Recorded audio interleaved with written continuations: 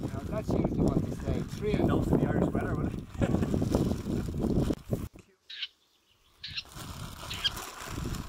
What's that?